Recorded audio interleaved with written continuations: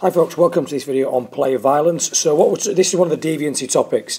So players are going to be negatively deviant when they're violent towards uh, fellow competitors. And as you you know, you've got an example. If you look on YouTube, you'll see this example of this uh, girl in the US soccer player, unbelievably violent in a particular game. Multiple incidents there of uh, excuse me of violence. See, pulling the back of an opponent's ponytail to drag her down, even. So let's get a couple of little brief definitions to start with. So we can say that player violence can either be spontaneous or premeditated. So spontaneous, exactly what you'd expect it to be. There's just a sudden outburst. Something's happened and bang, you've just acted violently towards someone. Premeditated is often, you know, it's planned. It's often when you've had history. You know you're going to be violent towards someone as a tactic or just because you're hostile and you don't like them. So there are a couple of uh, key definitions of it. I suppose the next thing to answer on this is what are the causes, often cited as the causes of player violence. Well, going back to a bit of psychology, you know, trait aggression. We all have a trait, okay, a characteristic for aggression, and we often view sport as a way to release that.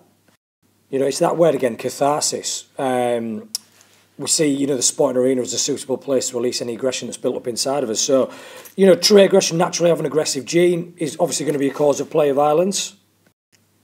Secondly, we've got that frustration, again, being blocked from achieving our goals. You know, frustration aggression theory, being outplayed, um, you know, someone marking you out the game, excuse me, got a bit of a sore throat, and stopping you from effectively performing as well as you know you can.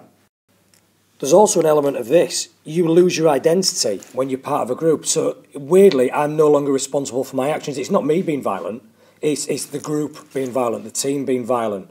So we tend to do, we lose our individuality when we're part of a group, so we think we can get away with more. And that's something called de-individuation or de-individualisation. You know, we try and lose, we always, we think psychologically we lose our individual personality when we're part of a group, so we're no longer responsible for our individual actions. It comes up time and time again. Social learning. Are you learning to be violent by watching and copying other violent people, particularly if the role model that you have is you know has aspects of aggression within their performance. Um, so that's part of it. And there's one more I forgot to add, a little arrow that I'm going to add now, and it's that one there your role in the team, you may be the enforcer, the one who's supposed to put in a few hard tackles early on to set your team's tempo, to, to show the opposition what you're going to be playing like for this game. You know, the hard man, the hard girl of the team, something like that. So that may also lead you to be violent, to overstep the mark, you know, stop being assertive and start being aggressive. So there, you know, the two definitions or the two different types of player violence that we talk about now, five common causes. So, If we've got causes, we must have solutions. So, what are the solutions to player violence? Well, there are three, as I say, people, there are other things, wrong, wrong terminology, whichever, but there are three structures of, of, of dealing with violent players, and that's things that the players themselves can use, there's coaching strategies, and there's things that national governing bodies can use. So let's quickly first have a look at what national governing bodies can do. Right then, so the role of national governing bodies in dealing with violent players. Well, let's come here first. They can obviously use experienced officials. Now, there's an, another way of saying something else here.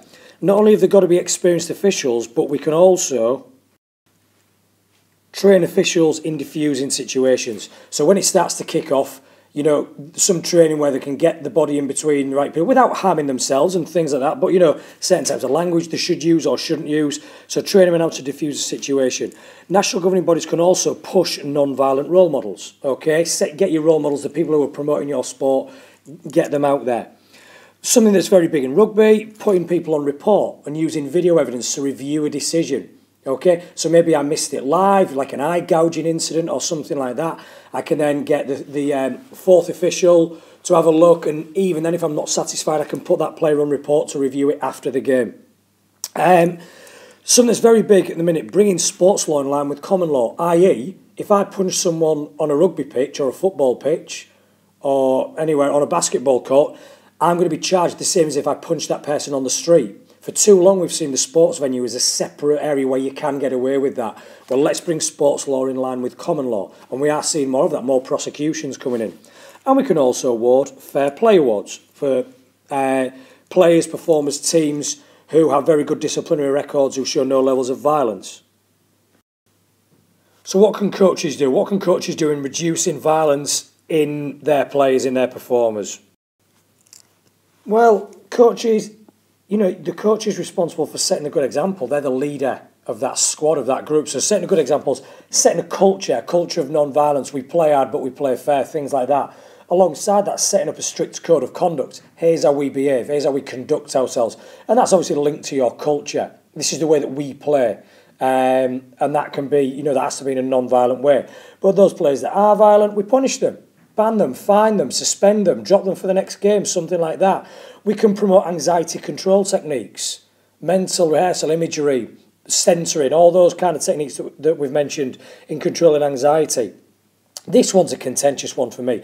Any coach that avoids a win at all costs mentality ends up losing their job quite quickly. However, it's correct theory if you avoid that win at all costs, do what you can, you know, that Lombardian ethic, do what you can to win. You've got to try and avoid that to a certain extent so that you reduce the violence levels within players. But else, what can we do? We can substitute or change tactics. If a player is being violent, we can substitute them and bring them off. Uh, you know, if we think they're going to get sent off any, anyways, excuse me, or sin-binned or something like that, we can bring them off ourselves and it saves our team being sent down by a player.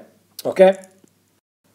And finally, then, what can players do? There's a lot of overlap here between what coaches can do as well. So let's have a look at this to finish off with.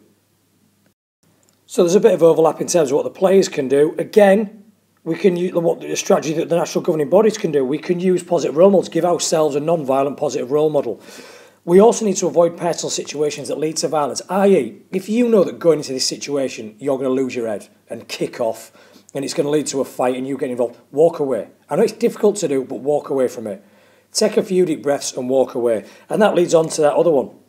You know, take a few deep breaths, that's your centering, isn't it? Your anxiety control techniques again. So the coaches can push the anxiety control techniques, but the players can actively use them as well. So that's another strategy.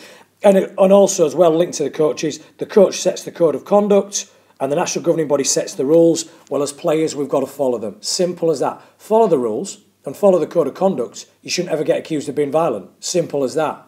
So there are various strategies that we can do with dealing with violence in amongst players. Hope you found this video useful, folks.